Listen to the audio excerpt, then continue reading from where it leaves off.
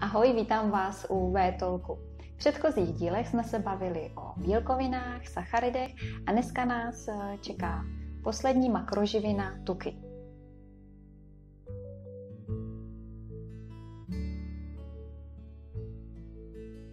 S Peťkou, naší produktovou specialistkou, probereme, proč jsou tuky pro nás důležité a rovnou se zeptám Peti, jakou mají funkci v těle tuky. Mm. Tuky jsou pro nás zejména vydatným zdrojem energie, zhruba tak dvakrát větší než bílkoviny a sacharidy na gram a zároveň jsou zásobá energie pro naše tělo.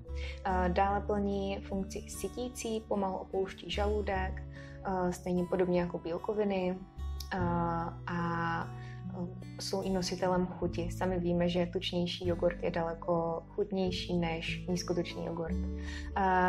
Vytváří prostředí pro rozpouštění biologicky aktivních látek, třeba léčiv, hormonů, ale i vitamínů, vitamínů rozpustných v tucích A, D, E a K.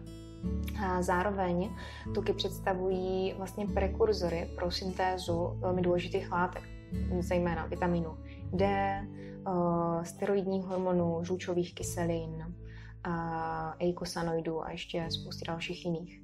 Další funkce strukturní a stavební, jsou součástí buněčných stěn a tkání. Velmi důležitá i funkce ochrana. Ochraňují naše vnitřní orgány před třeba mechanickým poškozením, ale i celkově naše tělo před uh, tepelnými ztrátami a zároveň ochraňují i nervová vlákna, třeba myelinové pochvy, uh, jsou vlastně obaly nervů a jsou hlavně tukové povahy a oni ty nervy vyživují a zároveň ochraňují. No a ještě takový benefit tuků je, že uh, nezvyšují hladinu inzulinu v krvi po příjmu, pokud nejsou konzumovány společně se sacharidy.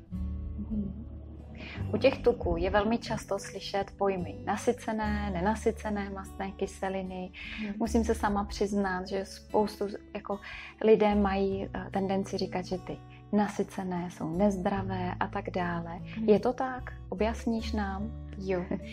S těmi tuky to je tak, že vlastně uh, tuk se skládá z glycerolu a mastných kyselin. A po, ty kyseliny jsou buď nasycené nebo nenasycené.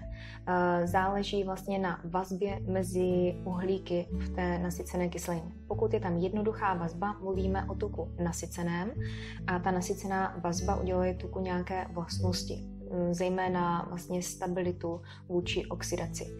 Potom ty nenasycené mastné kyseliny mají jednu nebo více dvojných vazeb a podle toho je nazýváme mono nenasycené nebo poly nenasycené. Tak, ty nasycené, uh, samozřejmě najdeme máslo, sádlo, živočišné produkty, jako jsou uh, maso, tučnější mléčné výrobky, ale jsou to i exotické tuky, jako palmový tuk a kokosový tuk. A dříve se opravdu uvádělo, že ty nasycené tuky jsou spojené se zvýšením uh, rizika vzniku srdečně cévních onemocnění nebo s kardiovaskulárními onemocněními. Ale dnes už se ví, že to nejsou primárně tady ty nasycené tuky, ale je to hlavně zánět v těle. A zánět v těle uh, způsobuje zejména přemíra cukru a průmyslově zpracovaných potravin ve stravě. Takže to určitě nemusí být nasycené tuky. A pokud se podíváme na ty nenasycené, tak uh, ty mononenasycené se vyskytují, které mají jednu dvojnou vazbu, ty se vyskytují typicky uh, v olivovém oleji, avokádu, ořeších mm-hmm. a ty mají relativně takový neutrální uh, vliv na krevní obraz. A pokud se podíváme na ty polynenasycené, tak uh, ty jsou esenciální pro naše tělo. To znamená, že my si je neumíme sami nějak vytvořit a potřebujeme je přijímat ze stravy. Rozdělujeme je základu na omega-6 a omega-3 nenasycené mastné kyseliny. Ony jsou esenciální obě dvě tyto skupiny, nicméně v dnešní době je, máme velkou přemíru právě omega-6 nenasycených masných kyselin a když je jich přemíra, tak v těle vzniká pro zánětlivý stav, který určitě nechceme vytvářet. No a my ty omega-6 najdeme převážně v rostlinných olejích, jako jsou slunečnicový, eh, kukuřičný, sojový, řepkový, Jo, a ty omega-3 naopak, který bychom měli mít co nejvíc, aby se nám vyrovnával poměr vůči těm omega-6, tak ty jsou přítomné v rybách, v rybím oleji a v té rostlinné říši třeba v lněném semínku, v čia semínku, v lašských ořeších. Jsou nějaké potraviny, kde jsou ty tuky skryté, kde bychom je nečekali. A ještě mě zajímá, jestli doporučuješ, abychom si spočítali spotřebu tuku na den a hlavně, jaký můžeme spočítat. Mm-hmm. Uh, tak možná, kdybychom tuk nečekali, tak jsou to třeba um, cerální nějaké tyčinky nebo mysli tyčinky, kde máme stužený tuk třeba v polevách, pak jsou to brambůrky, nějaké koláčky, koblihy a podobně, které jsou doslova namočené v tuku.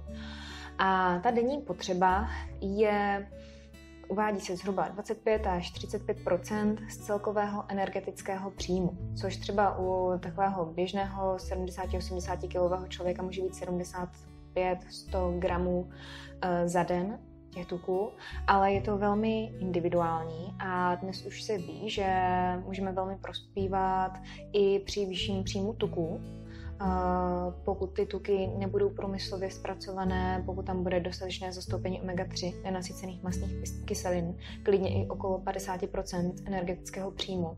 A opravdu nemůžeme konzumovat průmyslově zpracované uh, tuky a obecně potraviny. Jsou nějaká období, kdy bychom měli přijímat tuku více a kdy méně během roku? Hmm. Mně osobně dává smysl odlehčit jídelníček třeba od tuku po zimě. Pokud uh, se člověk opravdu přes zimu stravuje takovými těmi hutnějšími, sítějšími, tučnějšími jídly. Takže na jaře si dá třeba nějaký detox. Ale pokud je i mm, pro lidi zima jako odlehčená, pokud jí uh, lehkou stravu, tak možná ani není třeba omezovat. Je to velmi individuální záležitost. Mm. Pěti děkuji. Mm-hmm.